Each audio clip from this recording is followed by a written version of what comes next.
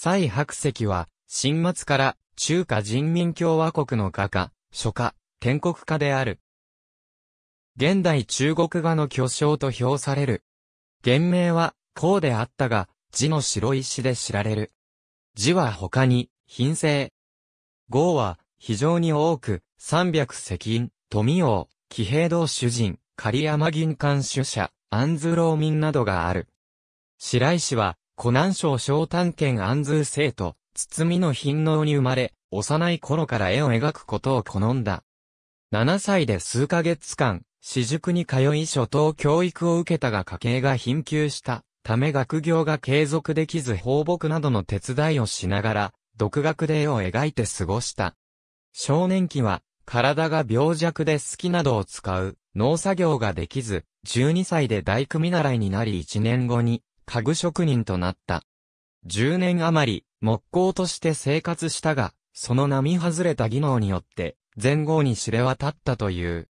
木工の傍ら兵具市出身の章について、肖像画を習い後に、美人画も描いた。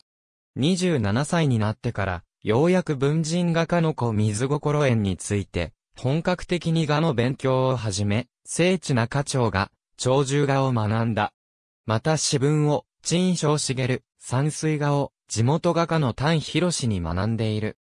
30歳になると、同郷の私友と、達山使者、羅山使者を結び、処方や天国も独学し、文人的な資質を培った。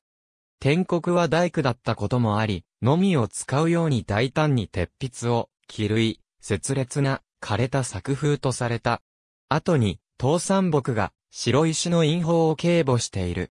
40歳以後の7年間で、五七五期と言われるように5度にわたり、中国全土を準優指名山や大河を堪能した。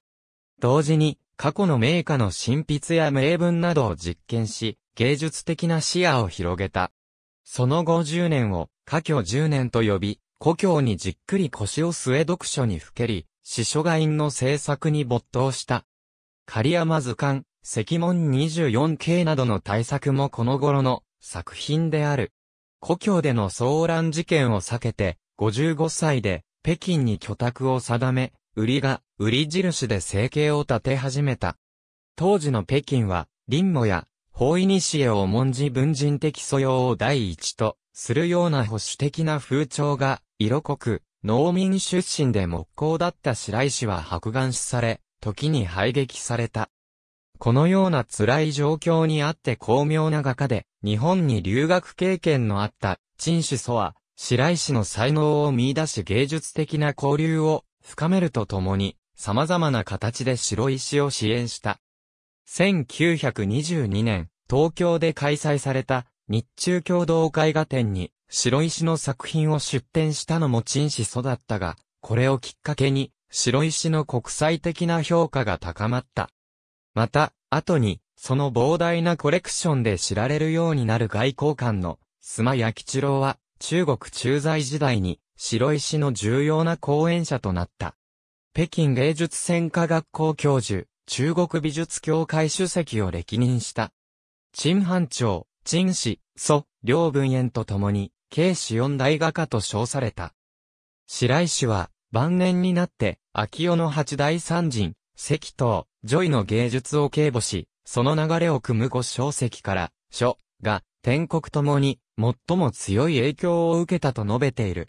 白石は、法古主義に陥り停滞した近代中国芸術の吸収を打破し、新風を吹き込み、現代中国画の巨匠と評価されている。